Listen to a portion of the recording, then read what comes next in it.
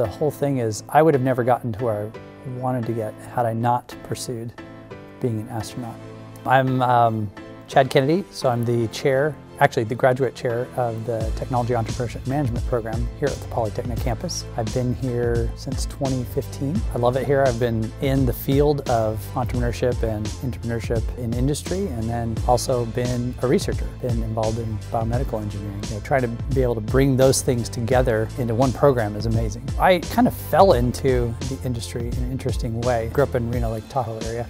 I would love to go outside. I actually started mountain biking before there was mountain biking. Initially, I wanted to be an astronaut. That was my impetus for wanting to get into engineering in the first place. I remember looking at different schools back in the day. They basically said, go to Texas. So off to Texas I went. When I was there, I was, thought I was going to go into aerospace engineering and, and do all these things. That's what I thought I was supposed to do. But I had some professors say, you should stay in mechanical engineering and then you can do whatever you want in that space. When I was at University of Texas and I, I, went to the person who did the coordination, he told me that, yeah, well, you can apply for NASA, but your chances are probably slim. So I ended up finding out how to contact the person on the other end at NASA who actually did all the interviews and made those decisions. Just completely bypassed the other system. From there, we just had a great conversation. It turned into working at NASA which was wonderful. I did like three different tours uh, doing different types of, of projects there. From there, I went into Silicon Valley, actually with my first job. What I realized while I was there was in order to have a shot at being an astronaut, you had to have a PhD, and that was my goal. The one thing that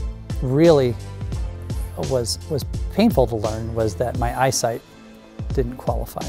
And so that I had to re, re-identify myself with, okay, what, um, what's something that I could still be passionate about? And that's where bioengineering came in, which was kind of inspired from when I was first in the dorms. I lived on the first floor. That's where a lot of people, if they have physical disabilities, also live. So I ended up becoming friends with a lot of people who've had lots of different physical disabilities. And it just dawned on me, it's like, wow, if I could just spend you know, part of my mind in engineering things to help people's lives, you know, make it better, that seems far more worthwhile than trying to have a company clean up their act and then have them decide not to. And that was my actual first introduction to ASU. It was a new program at the time. It was really small. When I got to join the bioengineering program, the environment which was one of the things that really attracted me to ASU was not so much a competitive environment, it was actually a cooperative environment.